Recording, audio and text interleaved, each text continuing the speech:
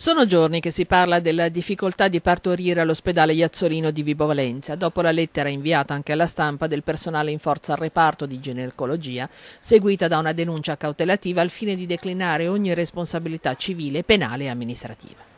Prontamente avevamo chiesto l'UNMI al direttore generale dell'ASP, ma ora la vicenda ha avuto un ulteriore sviluppo con la convocazione da parte del prefetto Guido Longo di un tavolo al quale sono stati invitati il Comune, il commissario per il piano di rientro Massimo Scura, che per la verità non si è presentato, il delegato per la sanità della regione Calabria Franco Pacenza i vertici dell'ASP, nonché i sindacati e i parlamentari Censore e Dali Lanesci, dalla cui richiesta era partita l'idea della convocazione di questo tavolo e che invece quasi un'ora dopo l'inizio della riunione, non si era ancora fatta vedere, delegando il suo medico di fiducia e i consiglieri regionali. Ho portato una serie di relazioni a dimostrazione che le cose non sono proprio così come sono state denunciate. Parte dei problemi sembrano derivare dalla mancanza di un primario. Si è fatto il sorteggio. Finalmente arriverà?